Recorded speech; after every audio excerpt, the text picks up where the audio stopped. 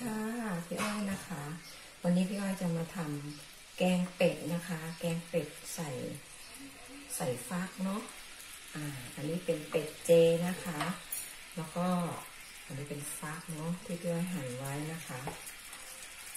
ผัดเครื่องแกงก่อนนะคะ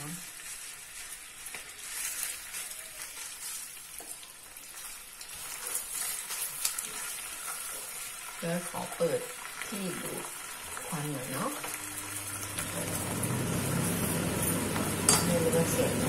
งขนาดเมื่อวานคลิปก็ก็ลืมลืมเปิดฟัง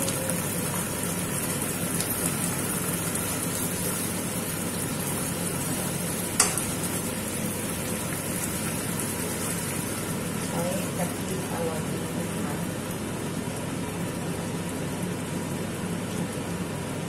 ลำบากหน่อยเนาะเพราะว่าช่วงนี้แบบบ้านเราเข้ามาใหม่เนาะหลายๆคนก็เข้ามาขับบ้านนะคะแล้วใช้เกลือ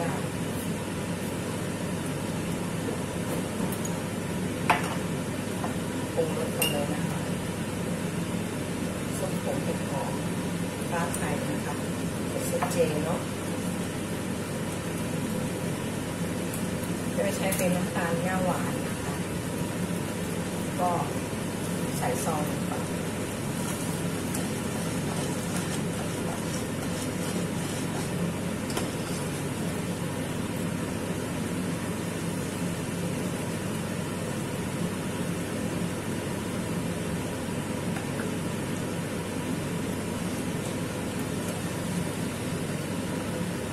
ใส่น้ำเป็นนะคะ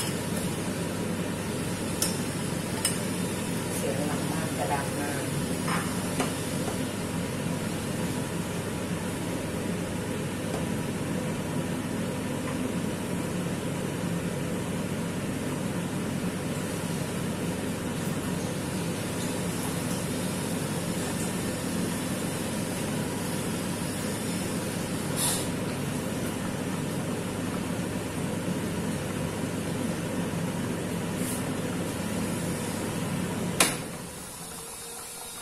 กะ ทิหนึ่งน้ำหนึ่งนะคะ เพราะว่าไม่งั้นจะข้นเกินไปเนาะ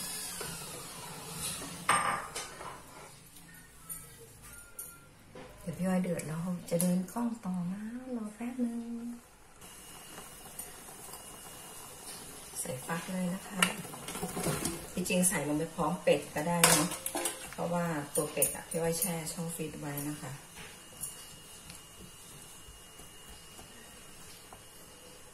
เดี๋ยวเดือดอีกทีนึงเป็นอะไรก็ใช้ได้ สรุปว่าพี่ว่าใช้น้ำตาลสองซองนะคะ เพราะว่าซองเดียวเขาไม่มีรสชาติเลยจริงๆต้องใช้เป็นน้ำตาลปี๊บนะคะ แต่พี่ว่าไม่ใช้เนาะ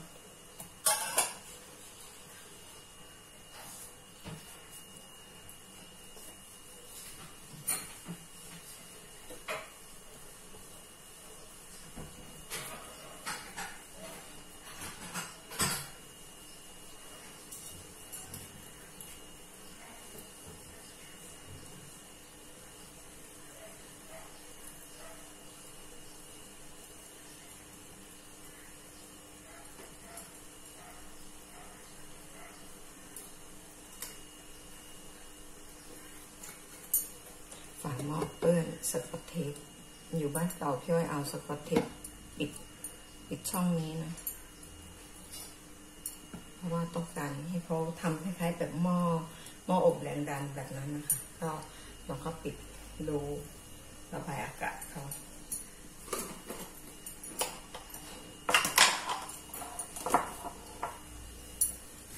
เดี๋ยวเดือด แล้วพี่อ้อยใส่ผักนะคะ เดี๋ยวพอเดือดแล้วก็จะใส่ผักเนาะแล้วเดี๋ยวมาจัดจานกันนะคะมาตักใส่จานกันพี่อ้อยขอหยุดกล้องก่อนเนาะ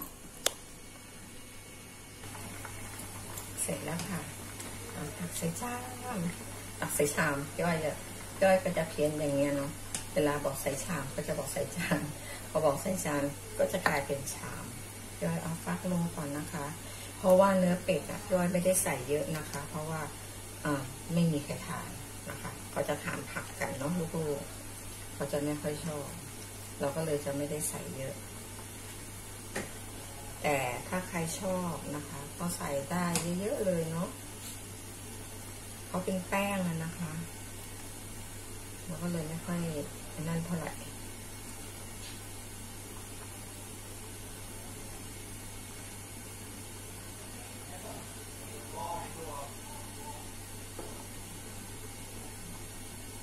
แต่ก็เอ๊ะพี่ออยแกงไม่เห็น บอกแกงเป็ดไม่ค่อยเห็นมีเป็ดคือทานมานานนะคะ ก็จะเกิดอาการเบื่อหน่าย ใส่แค่พอเป็นสีสันหน่อยเนาะเพราะว่าใครอยากทานก็ตักนะคะ อันนี้เป็นคลิปที่สองนะคะสำหรับบ้านหลังใหม่เนาะ ก็